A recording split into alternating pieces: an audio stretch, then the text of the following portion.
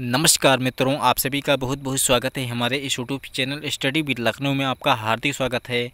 दोस्तों, अगर आपने इकतालीस हज़ार पाँच सौ बीस पदों की पुलिस भर्ती का एग्ज़ाम दिया तो आप लोग इंतज़ार कर रहे होंगे कि इसके मेडिकल में जो है कौन कौन से डॉक्यूमेंट लेके जाने हैं आपको और मेडिकल कब होगा।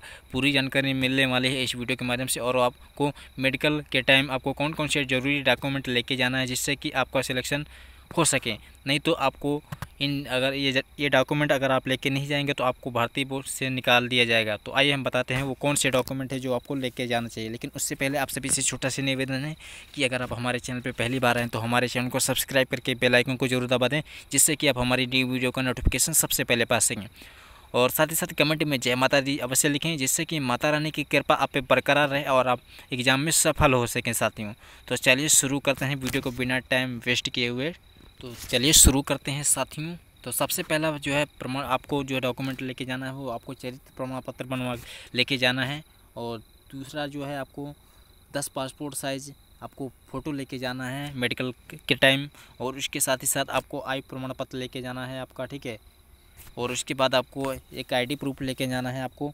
सभी की, सभी डॉक्यूमेंट की आपको एक दो दो फ़ोटो कापी और एक ओरिजिनल लेके जाना है आपको। ओरिजिनल भी लेके जाना है और फ़ोटो कापी भी लेके जाना है, ठीक है? और शैक्षिक प्रमाण पत्र की बात करें साथियों तो आपको हाई स्कूल और इंटरमीडिएट की जो है दो दो दो प्रति जो है फ़ोटो कापी लेके जाएँ और एक और इन सभी की जो है ओरिजिनल भी लेके जाएँ ठीक है?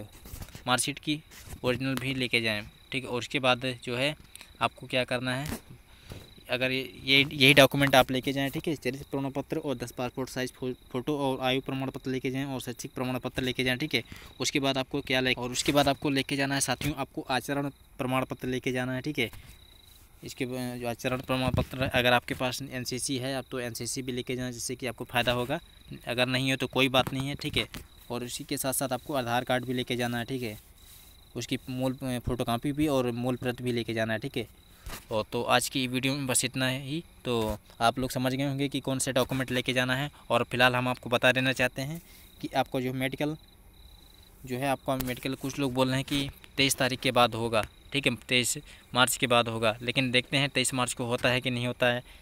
अलग अलग यूट्यूबर्स बता रहे हैं, जानकारी दे रहे हैं कि तेईस मार्च के बाद होगा, लेकिन इस बात की क्या सत्यता है, लेकिन इस पर पड़ताल करके हम कल सुबह आपको बताएँगे, ठीक है, ताज़ा खबरों के साथ, ठीक है तो आप सभी का शुक्रिया हमारी वीडियो में कीमती समय देने के लिए। Thank you for watching my videos